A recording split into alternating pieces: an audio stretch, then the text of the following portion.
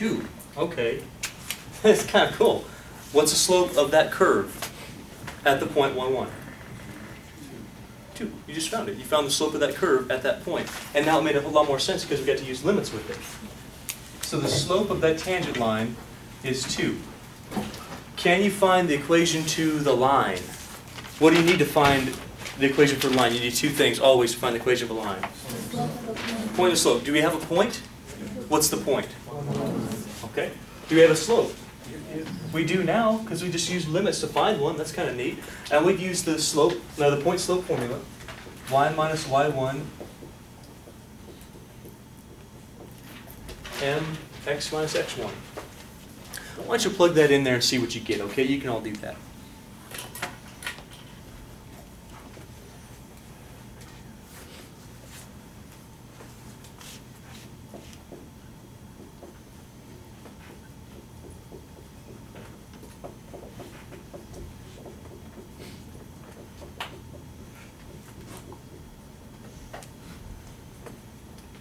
What you just found on your paper, if you did that by yourself, what you just found on your paper is the slope of a tangent line to the curve x squared at a point. That's the only tangent line that's going to exist at that point. Now here's my question. Is the tangent line going to be different for a different point?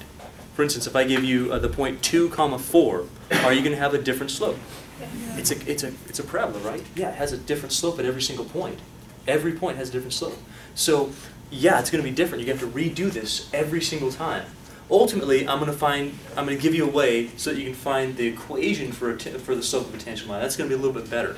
So we'll do that at, at the end. I just wanted to get you this picture in your head because I've actually given you this example before. Do you remember it? I did that example for you. I did it a long way though. It was a, it was a ways back. But now we have a better way using limits and we didn't have to make that jump. We have to make the limit jump because now we define limits we can actually use that. Let's go ahead and start one more.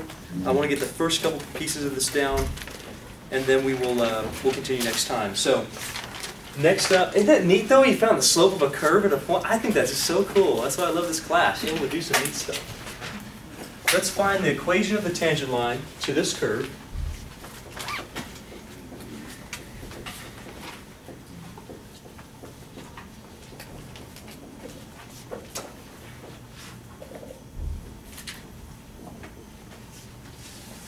At the point, well, let's see, uh, 3, 1.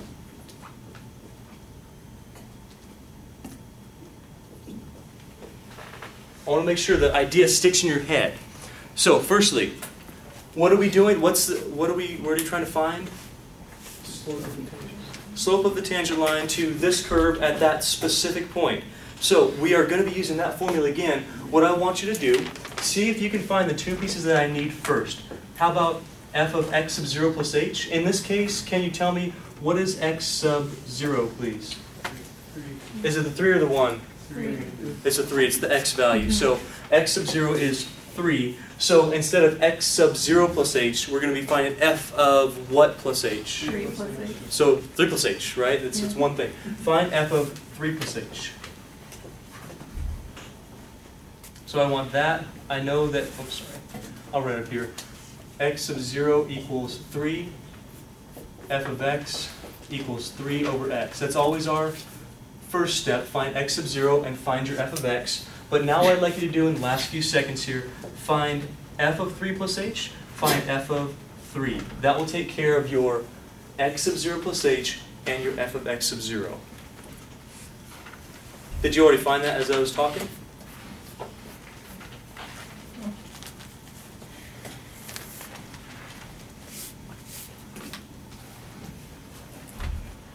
Firstly, are you okay that x sub 0 is in fact 3? Yes. Yes or no?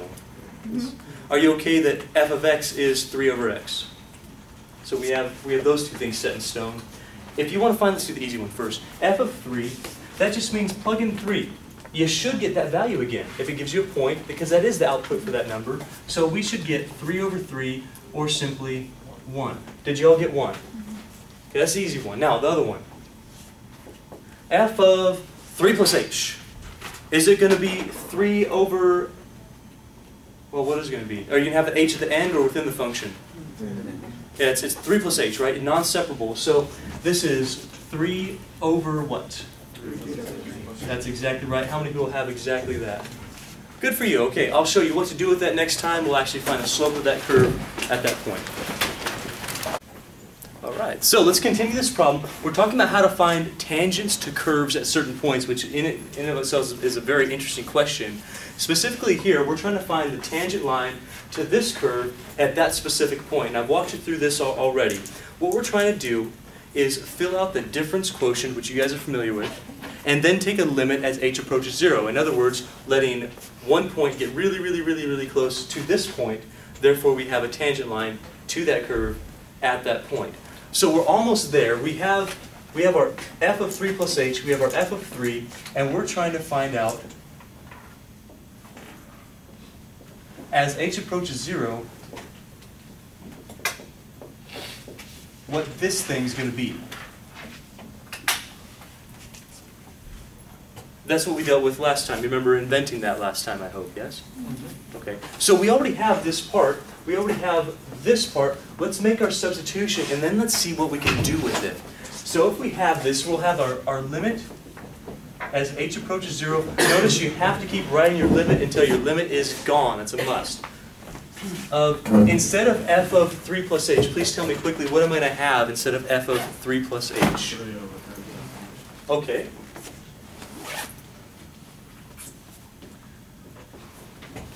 Are you okay on the 3 over 3 plus h? Yes, now you see where that's coming from? So instead of f of 3 plus h, I have, well, what that equals, 3 over 3 plus h. Then am I going to have a plus or minus? What do you think? Minus. Yeah, the formula says minus. Minus how much? One. Yeah, f of 3 is 1. All over what, folks? H. Don't forget that h. So we've just made a little substitution. We have 3 over 3 plus h for f of 3 plus h. Cool.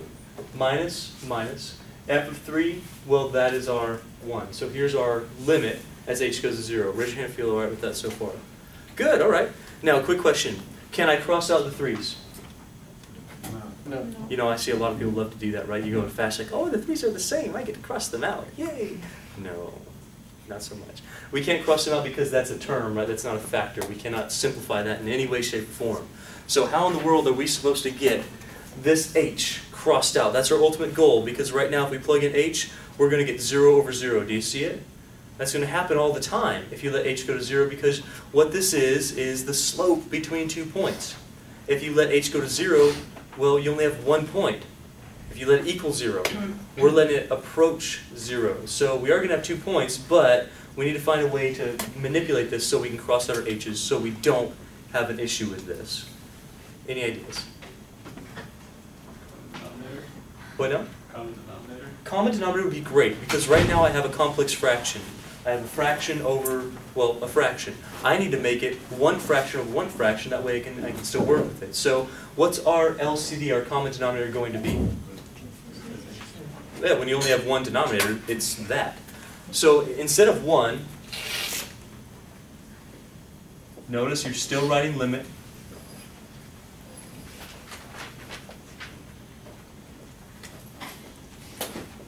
I have 3 over 3 plus h minus, instead of having 1, would you be okay if I put 3 plus h over 3 plus h? Is that the same thing? Sure, yeah, may as well.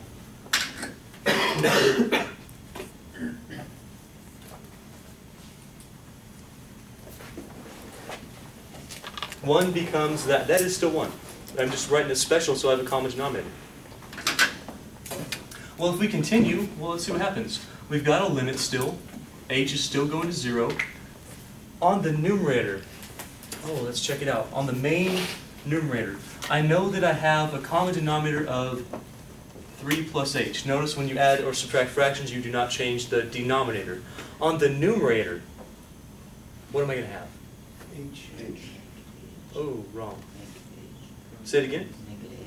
Why? Uh, minus. Minus. Is that minus important? It's not really important, right? Right? Or yes? No. It's not like we're talking about slope or anything, right? Oh, wait. Huh. That's exactly what we're talking about. So if you have your sign wrong, your line goes from this to this, or this to this. Is that a big difference? Big difference. Freaking huge difference, right? We can't do that. So get your signs right.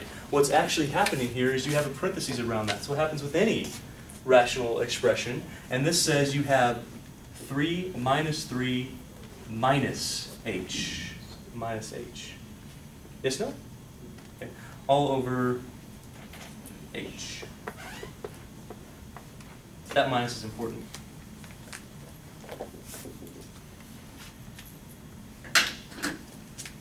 So we'll have a limit. It's still a limit. h is going to 0. We have negative h over 3 plus h all over h.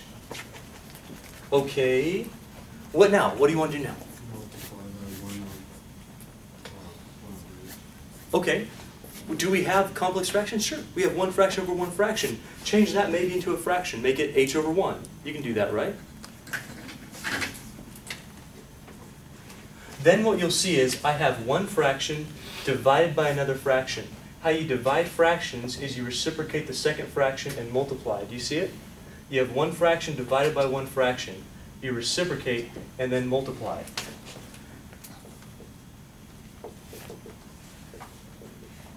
So that'll be negative h over 3 plus h times, I'm going to do this all at one step. I'm going to reciprocate and multiply times 1 over h.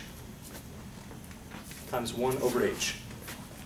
Are you okay on where the 1 over h is coming from? Are you sure? So I'm reciprocating and multiplying. What happens here? Yeah, I don't want to distribute that h, right? Because right now we have parentheses. You were taught in your whatever class you learned this. Extend that line, cross out those h's if you can because they're they're now factors. What do I get on the numerator? That negative, oh, that's important. Negative 1, so this is the limit, this is the last time we'll write the limit for this problem. Negative 1 over 3 plus h. Would you raise your hand if you can make it down that far? Feel okay with this? Good deal, that's great. Now, wait a minute, h is on the denominator. Can I plug in 0 and be okay? Yes, because I'm adding 3 to it, that's fine. If I evaluate, this is where you stop writing the limit. You say, okay, well, this what this does, this equals negative 1 over 3 plus h. Oh, sorry, 3 plus 0.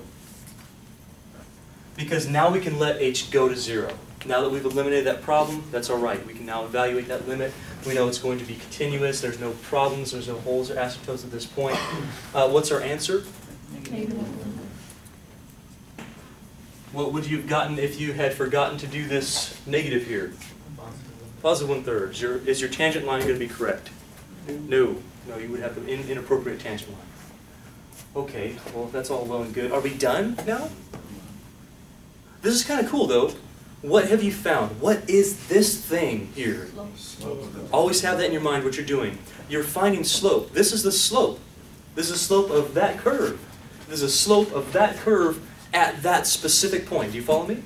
Well, that's convenient, and it's- not coincidental, but it's convenient because now we have the slope of this curve at that point. We now have a point and the slope, right? What do you need to make the equation of a line? You need a point and slope. So we have that now.